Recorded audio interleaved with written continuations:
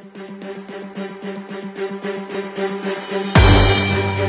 Hindi pinalampas ng mga miyembro ng Team Gawa ang makapaglingkod sa kapwa sa pamamagitan ng pangangalaga sa kalikasan sa isinagawang Golden Green Tree Planting Activity sa Barangay Kasalugan, Paracale, Camarines Norte.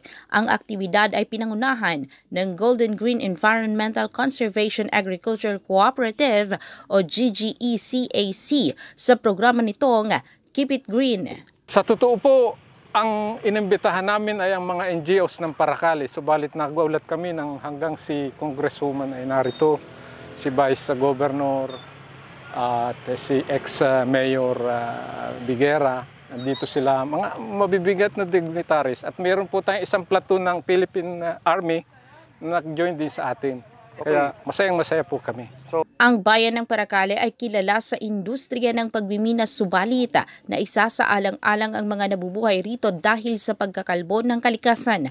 Bagamat hindi na nagsisilbing bilang mayor ng bayan ay gusto pa ring ipagpatuloy ni Baby Brigera ang kanyang pagdilingkod sa mga kababayan. Talagang uh, kailangang papanumbalikin natin, maibalik ang uh, lunti ang uh, kalik- uh, kalikasan dito sa ating bayan. Actually, may invitation at saka syempre, bukod dun sa invitation, talaga ako ay talagang 100% na sumusuporta sa Golden Green.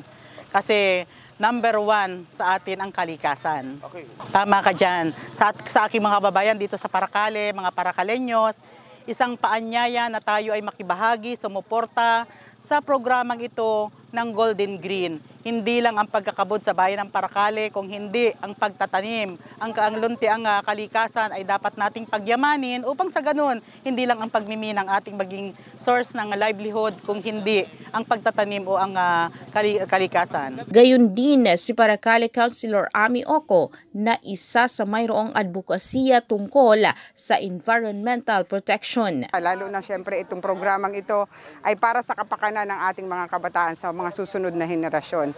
Alam naman natin na ang lahat ng ito ay ginagawa ng grupong ito para sa ating mga kabataan. Hindi lang po sa mga kabataan, kundi para bumalik ang ang dating uh, sigla ng kapaligiran dito sa bayan ng Paracali. Alam naman natin na may mga pagkakataon at hindi gustong mangyari ng mga millennials natin sa susunod na mga panahon na ang pagkasira ay nangyayari. Subalit ito po ay ginagawa natin programang ito para mapunuan at maibalik, muling manumbalik ang, ang sigla ng kapaligiran dito sa bayan ng Paracali. Ang ginawang aksyon ng Team Gawa ay personal na nakiisa si Congresswoman Josie Baning Talyado, kasama rin sina Vice Governor-elect John Pimentel, Board Member Artemio Serdon, Konsehal Sia Manarang at Councilor Edgar Alcala.